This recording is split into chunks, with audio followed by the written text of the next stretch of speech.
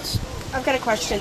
In the meantime, is there anything that we can do to help support pagan inmates currently? Yes.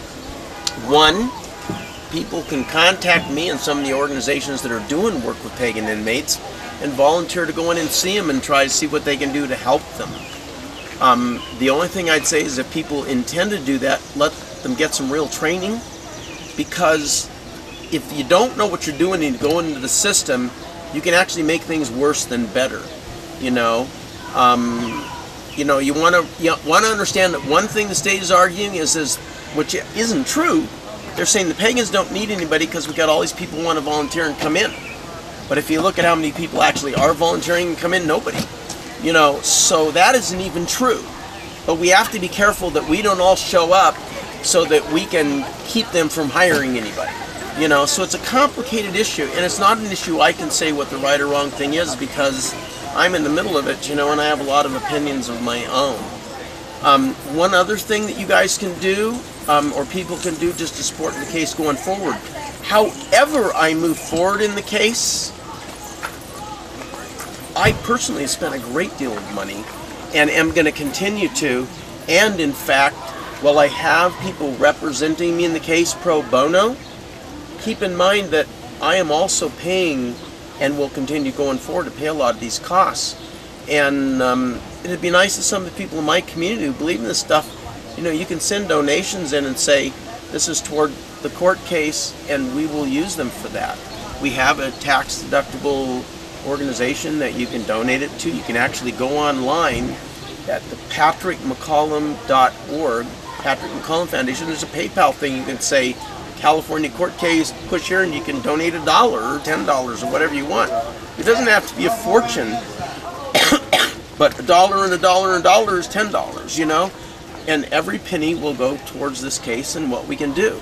And you know what? If we decide not to move forward on the case and there's dollars in that account, then we'll use it to to write things and hold rallies and do whatever else we need to make it go forward. Any other questions? Uh, you said you're going to be making a decision on how you're going to proceed forward uh, within approximately the next 24 hours. How will you let people know what your decision is? Well, there, it's, it's a difficult process. So to begin with, when I make the decision, I'll, I would need to inform my attorneys what I'm going to do to make the decision. But it's not appropriate for me to let everyone else know what the decision is until I've allowed the other side to make the decision and see how that filters out. Because the legal process is not cut and dried like we all see it on TV, right?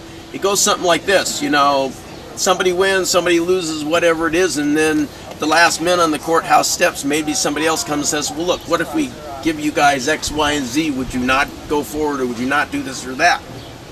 They might not do anything like that, or they might. Or we might do something like that, or we might not. And we can't make those determinations till we've really sat down and said, what, what direction do we want to go? Because I don't want to sit down and be talking about how can we, you know, raise public opinion and make a big issue if we're going to the Supreme Court or if we're going en banc or something else like that. But the minute that I've informed my attorneys, whichever way I go, and they say it's okay to tell someone else, then I will inform you. Um, I could contact um, Star, if she could be like a key person that could tell other people, or I could contact each one of you individually, or I could contact Jason at the Wild Hunt and let all him know all of you. I mean, I know who most of you are, and if I don't have your contact information, you can give it to me, and I'll um, make sure someone lets you know. Um, I think this is personal.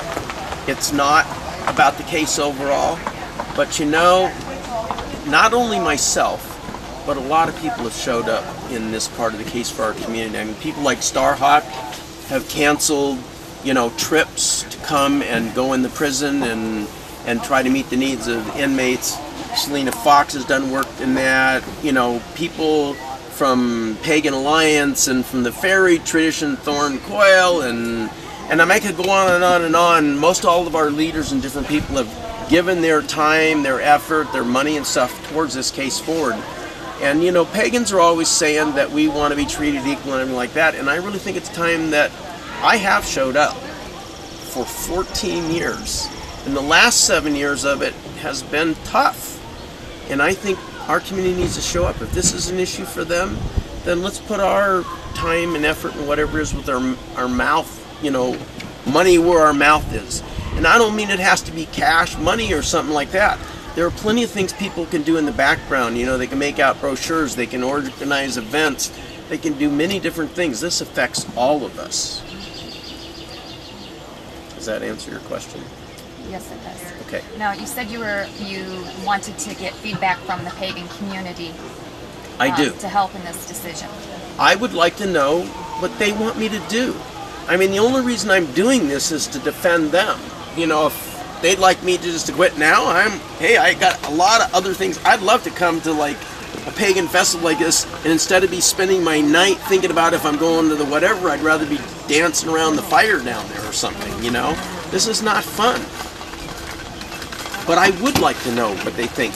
Whether they're against or for doing it, I'd like to see what people think.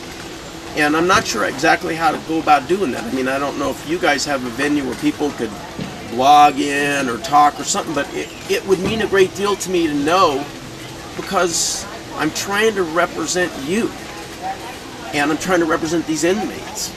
And, um, you know, I, I really need help here.